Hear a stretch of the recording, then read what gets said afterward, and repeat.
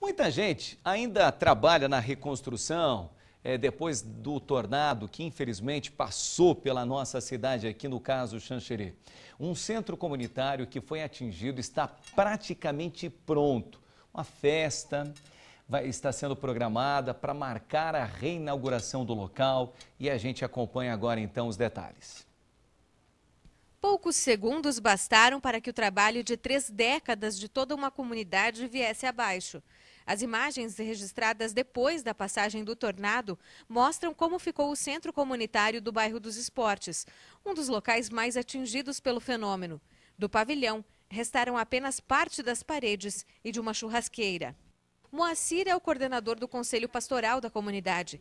Ele lembra que depois do dia 20 de abril, foi um período de muito trabalho e ajuda.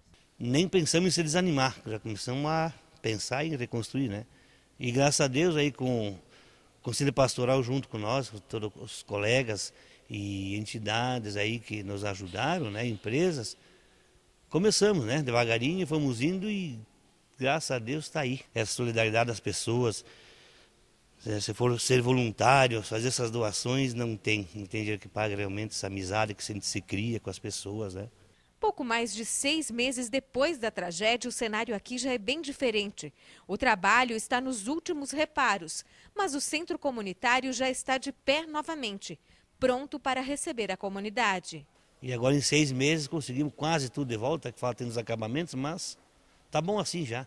Para quem perdeu tudo e já tem isso aqui, já tá bom, né? Bom.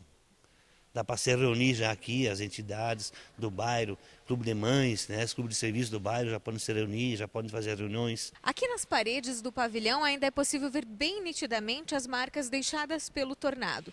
Segundo o conselho do antigo centro comunitário, que tinha cerca de 1.400 metros quadrados, muito pouco pode ser utilizado na nova construção.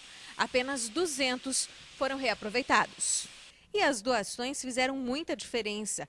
Ao todo, foram investidos mais de 200 mil reais para reerguer o espaço. Em caixa, não havia nem metade do valor. Foi nessa hora que a solidariedade foi importante. Tanto que a próxima festa, programada para o dia 6 de dezembro, vai se chamar Festa da Solidariedade. Alegria. Alegria. Muito grande, né? Conseguir erguer de volta tudo que nós tínhamos, né? Porque a gente se emociona porque é uma batalha das pessoas, né? E de repente voar tudo. E agora está aí, graças a Deus.